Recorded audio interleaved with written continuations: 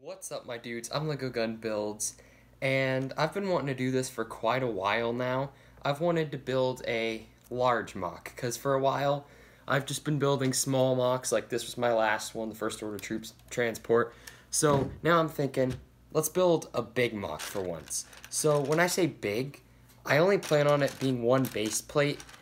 However, it's going to be tall. And when I say tall, I'm going to show you a picture of what I mean.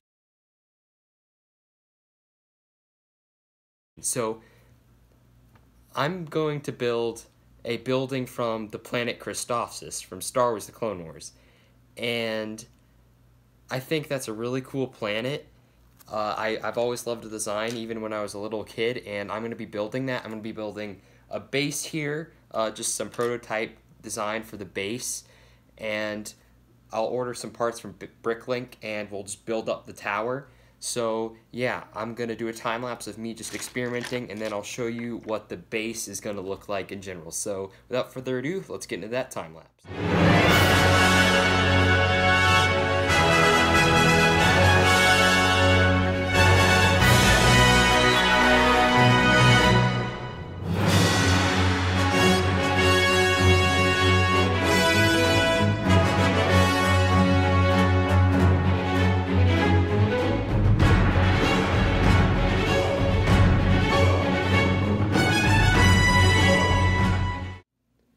So here it is. Uh, while it is small, I uh, this is just really a prototype for what I want the whole base plate to be. I'm gonna have to order more parts because this color of green is uh, a bit harder to get in Lego sets and this kind of blue as well. So basically what I've done with it is I got just a normal blue border around it and I'm stacking these bricks inside um, I'll show you a picture right now of how the planet Christophsis looks, and it's a crystal planet, basically.